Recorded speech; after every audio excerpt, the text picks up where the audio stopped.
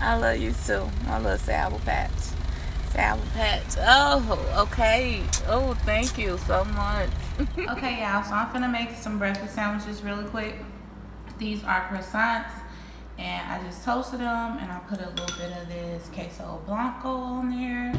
So we have some eggs. We got some potatoes. We got some turkey bacon because we don't eat pork.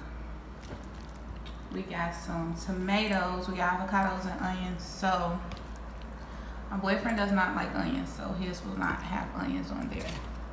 But I just came really quick to show you guys these cute little breakfast sausages. Breakfast sausages.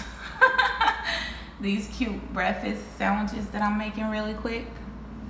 And I just have a little onion, a little tomato. Gonna put a little avocado on there.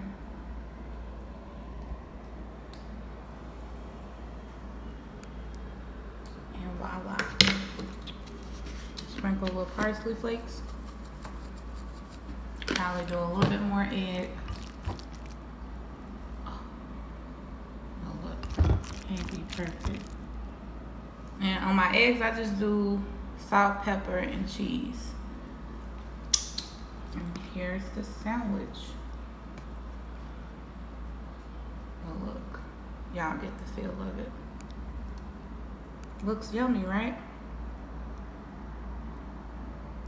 I semi-copied um, Jasmine's.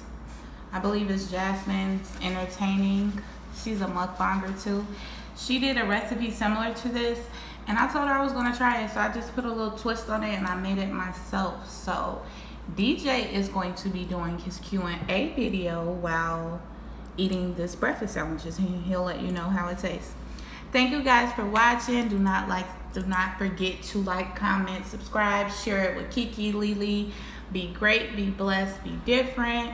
Everybody has a great day. And yeah, I just wanted to show you how to make these sandwiches. Love y'all. Bye.